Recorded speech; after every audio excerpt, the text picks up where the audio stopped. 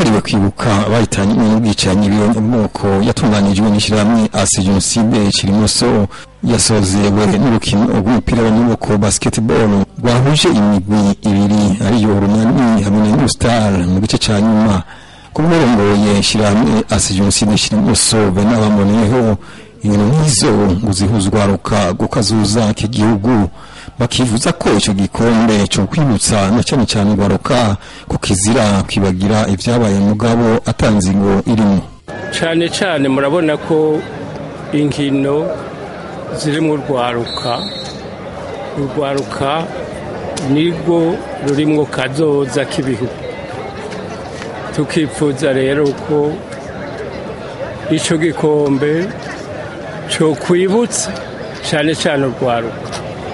Ko kizira kwibagira mugabo tukibuka atanzigo atakazikira atakurondera kwihora kugira ngo inzira zirashe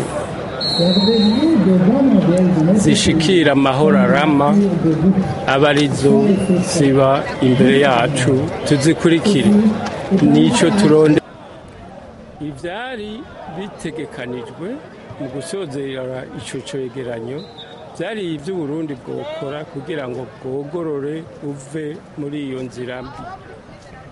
Urwaruka rero twama tugomba kurwibutsa kuguma rurondera iyo nzira irashe ishika yakijije ibindi bihugu kugira ngo ibe ariyo ikizuru amategeko twumva ubu ibintu byinshi twumva ikintu cy'intahe turabona ko kiri inyuma.